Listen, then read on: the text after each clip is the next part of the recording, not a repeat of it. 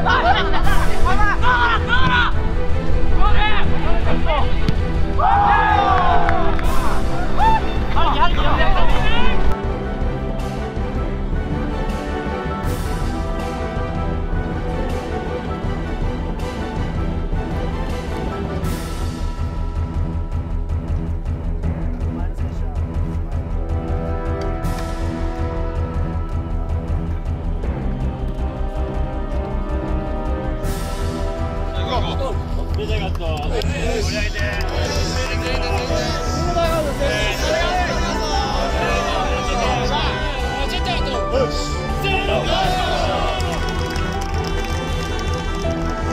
うちはあの1勝1敗になりましたので、まあ、あと2試合、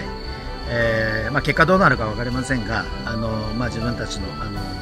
いいところをねあのどんどんどんどん出しながらあ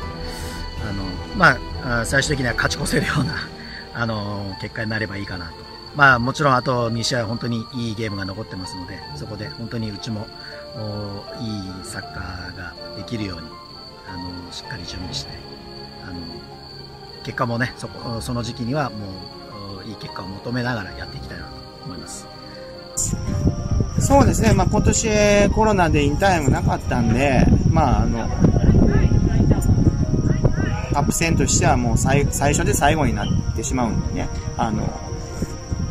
いいプレーができるように、まあ、いい準備をしていきたいなと思います。